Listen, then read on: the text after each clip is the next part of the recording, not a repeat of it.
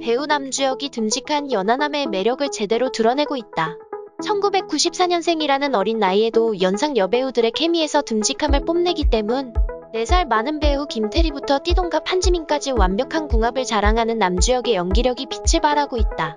스토일 드라마 25, 21로 인생 캐릭터를 써 내려가고 있는 배우 남주혁. 그는 현재 극 중 23살로 분해 4살 연하 김태리와 설레는 로맨스를 그리고 있다. 그러나 실제 김태리는 1990년생으로 남주혁보다 4살 연상. 그런데도 남주혁은 187cm 장신의 피지컬과 훈훈한 비주얼로 오빠미를 제대로 담아냈다. 이는 25, 21뿐만이 아니다. SBS 달의 연인 보보경심 려에서는 3살 연상인 소녀시대 출신 배우 서현과 애틋한 로맨스를 11살 많은 정유미와는 히어로와 힐러로의 케미를 JTBC 눈이 부시게에서는 12살 연상인 한지민부터 53살 많은 김혜자까지 시간을 뛰어넘는 애틋함으로 감동을 선사했다.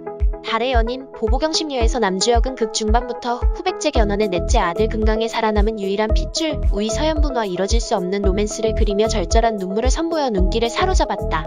보건교사 아는영에서 남주혁이 연기한 홍인표는 아는영의 손을 꼭 잡고 에너지를 나눠주며 함께 학생들과 학교를 지키는 인물로 학교 설립자의 손자이자 특별한 기운으로 둘러싸여 있어 아는영을 충전해주는 역할을 한다.